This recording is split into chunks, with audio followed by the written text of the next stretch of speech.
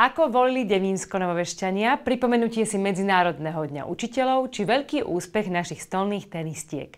Aj to sú témy dnešného magazínu. Prajem vám príjemné sledovanie.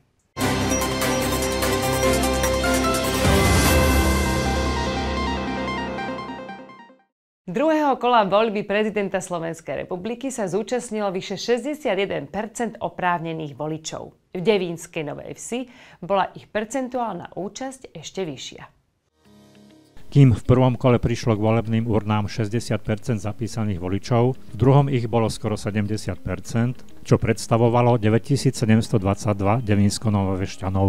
Som rád, že teda účasť aj v druhom kole vyzerá byť veľmi dobrá, a čiže mm, Devinsko novovešťania a tí, ktorí prídu voliť do Devinskej, a si uvedomujú dôležitosť prezidentských volieb a aj dôležitosť funkcie prezidenta Slovenskej republiky a nenechávajú teda nič na náhodu, čo som veľmi rád. Zbieram podnety od obyvateľov, ako teda vnímajú rozdelenie volebných okrskov. Je to vec, ktorú komunikujeme s ministerstvom vnútra a s okresným úradom. Návrh samozrejme prichádza z kapacitných možností a z technických možností, ktoré v Devinskej máme, či sú to objekty mestskej časti alebo objekty škôl, po prípade teda prenajaté priestory, lebo aj také máme v Devinskej Novej Vsi, ktoré nie sú vo vlastníctve mestskej časti, ale teda sú nevyhnutné pre vytvorenie volebných okrskov alebo vytvorenie volebného okrsku tam, kde to obyvateľia najviac potrebujú.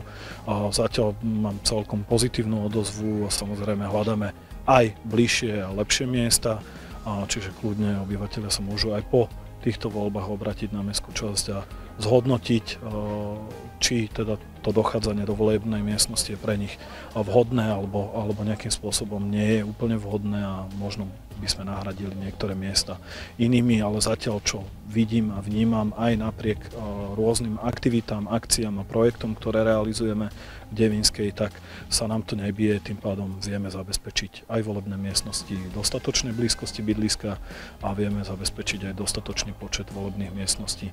Najbližšie voľby nás čakajú tie do Európskeho parlamentu. Ak by ste pri nich chceli pomôcť, treba sa ozvať na miestnom úrade. Novým prezidentom Slovenskej republiky sa teda stal Peter Pellegrini. V našej meskej časti však získal viac hlasov jeho protikandidát Ivan Korčok. Volilo ho 6367 devinsko novovešťanov, kým Petra Pellegriniho 3290. Nový prezident Peter Pellegrini sa ujme úradu 15. júna.